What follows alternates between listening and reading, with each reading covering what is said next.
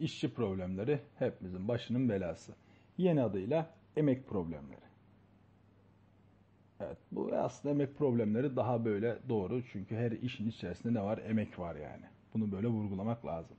Şimdi burada yapılan iş ve yapılan iş ve çalışma sürelerini oranlama. Nasıl oranlayacağız? Şuradaki L'miz gitmiş onu bir yazalım. Oranlama. İşçi problemlerde bir işçinin çalışma hızı birim zamanda yaptığı iş olarak tanımlanır. Nasıl ki hareket problemlerinde hız birim zamanda alınan yolsa buradaki çalışma hızı da birim zamanda yaptığı iş. Bizim işçimizin oradaki birim günse bir günde yaptığı iş, saatse bir saatte yaptığı iş. Buradan sonra iş eşittir hız çarpı zaman diyeceğiz. Yani yapılan iş eşittir çalışma hızı buna kapasite de deriz biz. Ne oldu? Çarpı zaman. Süre diyebiliriz. Şimdi burası önemli. Buraya dikkat. Yani iş eşittir hız çarpı süre. Bize daha çok süreyi soracağı için buradan süre neye eşit olur? Süre eşittir. Ne olacak? İş bölü çalışma hızı. Yani kapasitesi diyebiliriz. Burada çok klasik bir formülümüz var. Çözümleri hem formüllü hem de ekstra bir yöntemle yapacağım. İkisini de iyi incelemenizi tavsiye ediyorum. Ekstra yöntem daha çok hoşunuza giderse işçi problemini o şekilde daha kolay halledebiliriz. Şimdi işçimiz bizim bir işin tamamını A saatte bitiriyorsa, birim zamanda yapılan iş 1 saatte 1 bölü A kadarını yapar. T saatte T çarpı 1 bölü A'dan T bölü A kadarını yapar. Demek ki işi A sürede bitiriyorsa bu saat olur, gün olur. Birim zamanda 1 saatte 1 günde 1 bölü A'sını, T saatte T günde de T bölü A'sını yapar. Şimdi yapılan iş çalışma hızı ve çalışma süresiyle doğru orantılıdır. Yani hızlı çalışan daha çok iş yapar. Daha uzun süre çalışan da daha çok iş yapar. Ama diğer taraftan yapılan iş sabitse, iş sabitse çalışma hızı ve süre ters orantılıdır. Yapılan iş aynı. Hızlı çalışan daha kısa sürede bitirir değil mi? Hızlı çalışan daha kısa sürede bitirir. Ne oldu? Hızı artırdık, süre azaldı. Nasıl uygulayacağız? Şimdi Ahmet bir işin 3 bölü 5'ini 12 saatte yapıyor. Buna göre Ahmet işin tamamını kaç saatte yapar? Oran orantı doğru orantılı değil mi? Yapılan işle 3 bölü 5'ini 12 saatte yapıyorsa işin tamamını yani 5 bölü 5'ini kaç saatte yapar? T saatte yapsın. Doğru orantılı olduğu için çarpımları sabit. Niye? Çünkü yapılan iş artınca işin yapılma süresi de artıyor. Neden böyle? Çünkü çalışma hızı değişmiyor bakın. Ahmet başka biri değil. Doğru orantı olduğunu gördük. Ve buradan doğru orantının çoklukla da şöyle çarpıyorduk. 5 bölü 5'in 1 olduğunu biliyoruz. Yani 5 bölü 5 çarpı 12 eşittir. 3 bölü 5 çarpı t. Bu 1 zaten. Buradan içler dışlar çarpımı yaparsak 3t eşittir 5 çarpı 12 kaç oldu? 60. 3t 60 ise buradan t eşittir 20 olarak bulabiliriz. İşçi problemlerinin vazgeçilmezi böyle birlikte çalışma problemleri. İki kişi birlikte başladı. Biri şu kadar sürede yapıyor, öbürü bu kadar sürede yapıyor. İkisi beraber ne kadar sürede yapar? Klasiğimiz bizim. Şimdi bunun formüllü ve formülsüz çözümünü göstereceğim. Formüllü çözümünü yazdık buraya. A işçisi bir işi A günde bitirsin, B işçisi B günde bitirsin. İkisi birlikte de X günde bitirsinler. Şimdi birim zamanda yapılan iş. Bakın burada bir saat demişiz ama aslında bu ne olacak? Gün olacak. Onu düzeltelim. Bir günde A işçisi ne kadar iş yapar? İşin 1 bölü A kadarını. B işçisi 1 bölü B kadarını. A ve B işçileri birlikte işin 1 bölü X kadarını yaparlar. Dolayısıyla bir günde yaptıkları iş ne eşit olacak? Bir günde yaptıkları ikisinin toplam iş 1 bölü A'yı A yaptı, 1 bölü B'yi B yaptı. İkisi birlikte de 1 bölü X'ini yaptılar. Dolayısıyla ne oldu? Buradaki temel bağıntı 1 bölü A artı 1 bölü B eşittir 1 bölü X. Tek başına yapma süreleri bu. Burada kullanacağımız formül bu. Ama hocam bu formül benim çok kafamı karıştırıyor derseniz alternatif bir çözüm geliyor. Gelelim bunu uygulamaya, soruya uygulamaya hemen. Şimdi bir işi Ali 12 saatte, Buse 6 saatte bitiriyor. Ali ve Buse'nin birlikte çalışmaya başlayarak tamamını kaç saatte bitirebileceğini bulalım. Ne diyor formül bize?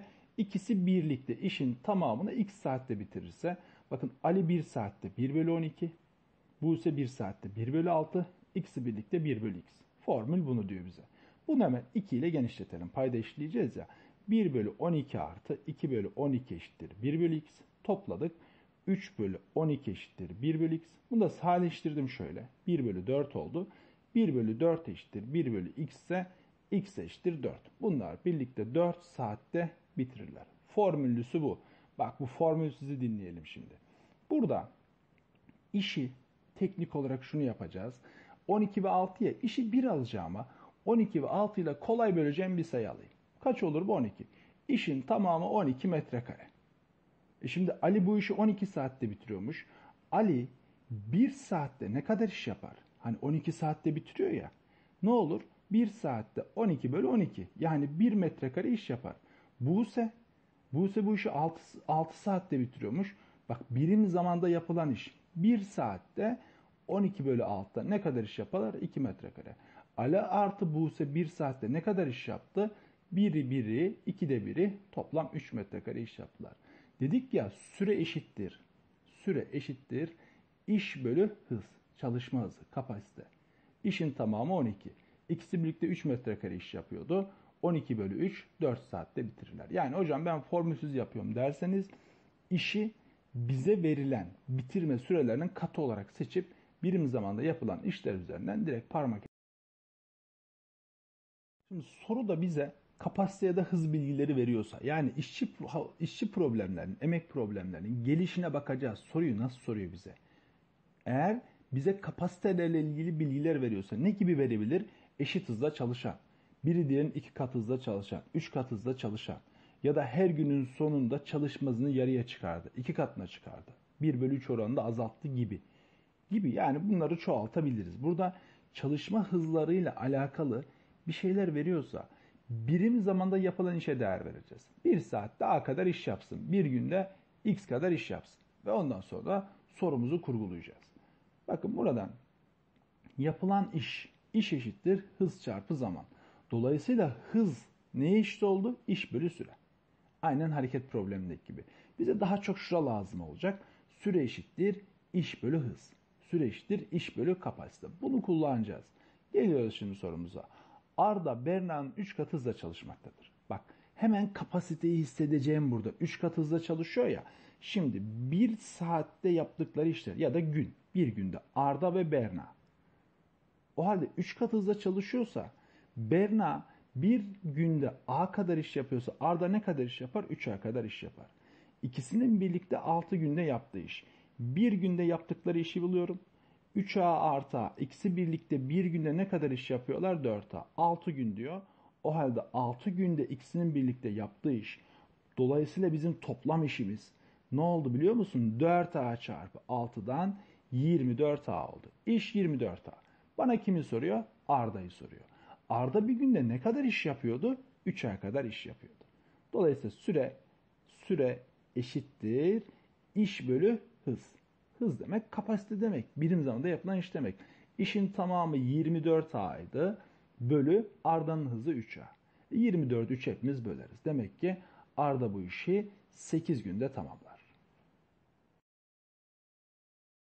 Evet, işçi problemlerinin, emek problemlerinin baş belası. Niye? Beraber işe başladılar. 2 gün sonra biri gitti, 3 gün sonra öbürü geldi. Ekibe birileri katıldı, birileri gitti. Burada mesele nedir biliyor musunuz? Kim ne kadar çalıştı? Kendinizi patronun yerine koyacaksınız. Bu işçilere ücret ödeyeceksin. Çetele tutacaksın. Kim ne kadar çalıştı, ne kadar iş yaptı. Bütün mesele bu. Bunun üzerinden işlemlerimizi yapacağız. Bir işi Cansu tek başına 20 günde, Funda tek başına 30 günde bitirmektedir. İkisi birlikte çalışmaya başladıktan 2 gün sonra Funda işi bırakıyor. Evet. Şimdi şu olaya bir gelelim. Kim ne kadar çalışmışa bir gelelim mi? Evet. Geldik buraya. Kim var burada? Cansu. İkinci kahramanımız Funda. Cansu ve Funda. İkisi birlikte çalışmaya başladıktan iki gün sonra. iki gün bu çalıştı, iki gün bu çalıştı. İşi kim bıraktı? Funda. Funda gidince Cansu üç gün daha çalıştı. Tamam. Sonra Funda tekrar işe başlıyor. Birlikte üç gün daha çalışıyorlar. Bak üç gün. Üç gün çalıştılar. Tekrar işe başladıktan üç gün çalıştılar. Bu sefer kim gitti? Cansu gitti. Güzel. Kalan işi Funda tek başına. Kalan işi Funda tek başına x gün çalışmış olsun. Bak kim ne kadar çalıştı? Çizdik hemen çetelemizi yaptık. 3 3 6. Cansu 8 gün çalışmış. Funda ise 5 artı x gün çalışmış. Bundan sonrasını eğer formül kullanacaksa Cansu bir işi tek başına 20 günde yapıyordu ya bir günde bu işin ne kadarını yapar? 1 bölü 20'sini. Funda bu işi tek başına 30 günde yapıyordu. Funda da bu işin 1 bölü 30'unu yapar. O halde iş bitecek 8 günde 8 çarpı 1 bölü 20 artı Funda 5 artı x gün çalıştı. 5 artı x çarpı 1 bölü 30 eşittir. İşin tamamı bittiği için 1. 1 bölü 1. Ne alırsanız alın bunu. 30 bölü 30. 60 bölü 60. Burada şimdi paydalarımızı eşitleyelim. 20 ile 30'u kaçta eşitleriz? 60'ta. Bunu 3 ile genişletelim. O halde devam ediyoruz. 3 kere 8. Burası 24 bölü 60 artı 5 artı x bölü. Bunu da 2 ile çarpacağız değil mi? Çarpı 2 bölü 60 eşittir 1. E paydalar 60. Buradan üstü toplarsak artık 24 artı 2'yi dağıtalım. 10 artı 2x bir de içler dışlar çarpımı yaparsak eşittir 60. Buradan ne oldu bakın 34 artı 2x eşittir 60. Yerimiz daraldı ama buraya sıkıştırırız. 2x eşittir 60'tan 34'ü çıkarttık. Geriye ne kaldı? 26. Dolayısıyla x eşittir 13. Yani Funda kalan iş için 13 gün çalışacak. Bunun yerine şunu da yapabilirsiniz. İşlem tamam bulduk bitti. Fakat şunu da yapabiliriz burada. Diyoruz ki biz ya bunlarla bir bölüyle bir bölüyle uğraşmayalım. Bak bu adam kaç günde bitirmiş? 20 gün. Funda kaç günde bitirmiş? 30 gün. Hemen 20 ile 30'a kolay böleceğim bir sayı katı 60. İş 60 metrekare olsun. İş 60 metrekare ya. Bir günde bir günde Funda ne kadar iş yapar? Cansu ne kadar iş yapar? Şimdi Cansu 20 günde bitiriyordu bu işi. 60'ı 20'ye böldüm. 3 metrekare iş yapar. Funda Funda 30 günde yapıyordu bu işi. 60'ı 30'a böldüm. Bu da 2 metrekare iş yapar. Çok çok basit temel bir yöntem bak. Formül yok. E şimdi kim ne kadar çalıştı? Cansu 8 gün çalışmış.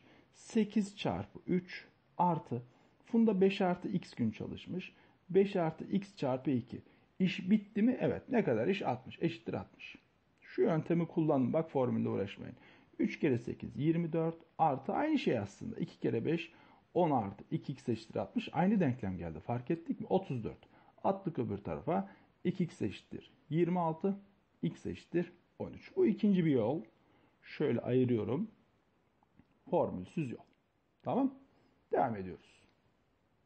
Eşit hızla çalışan 6 işçi birlikte çalışmaya başlıyorlar.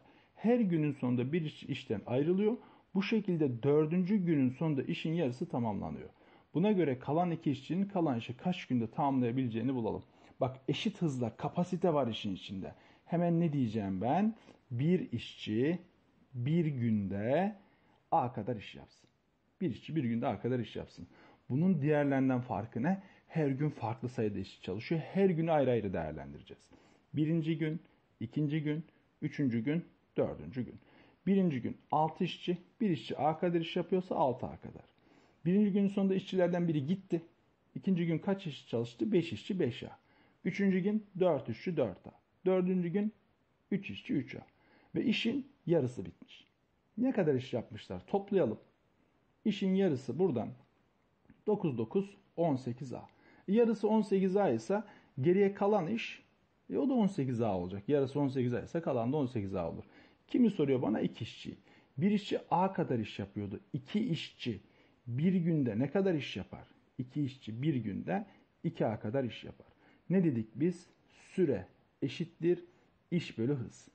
O halde yapılacak olan iş 18A, hız 2A. 18, 2 hepimiz böleriz. Ne oldu? Kalan işi 9 günde 2 işçi tamamlamış oldu.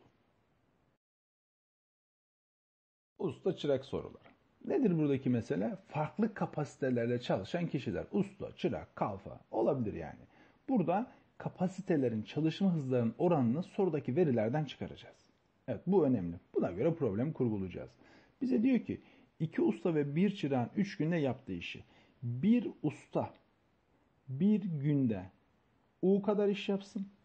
Bir çırak yine bir günde Ç kadar iş yapsın. İki usta 2 U artı bir çırak 1 Ç. Ne kadar iş yapmışlar? 3 gün. 3 günde yaptığı iş eşittir. Bir usta U. 3 çırak artı 3 çırak kaç gün çalışmışlar? 4 gün. Birbirine eşitmiş, eşitledik. Evet. Şimdi U ve Ç arasındaki ilişkiyi buradan bulalım. Buna göre 6 çırağın 6 günde yaptığı işi bir usta kaç günde yapar? 3'ü dağıtıyorum. 6U artı 3C eşittir. Buradan 4U artı 12C. Şu 4U'yu bu tarafa aldım. 6U eksi 4U eşittir. 12C eksi 3C. Alttan 4 çıktı. 2U 12'den 3 çıktı. 9C. He, bak şimdi burada ne oldu? U bölü Ç eşittir 9 bölü 2. Yani usta bir günde 9 metrekare iş yapıyor. Hiç başka A'ya B'ye gerek yok. Çırak da bir günde 2 metrekare iş yapsınlar. Ya da 9 çift ayakkabı yapıyor, 2 çift ayakkabı yapıyor. Ne olacak? Birim çok önemli değil burada yani. Önemli olan aynı birim olması. Şimdi soru bana ne diyor burada? Döndüm hemen soruyor. Diyor ki 6 çırak 6 çırak 6 günde. Yapılan işi belirliyorum. İş. Bir çırak 2 kadar iş yapıyordu. 6 çırak 6 çarpı 2. Bu bir günde yaptıkları iş çarpı 6. İşin tamamı ne oldu? 2 6 12 6 12 72 metrekare demiştik metrekare. Buna göre bir ustayı soruyor. O halde aynı işi bakın bir usta süre neydi süre? İş bölü kapasite. 72 bölü 9'dan 8 günde yapar. Olay bu kadar net yani.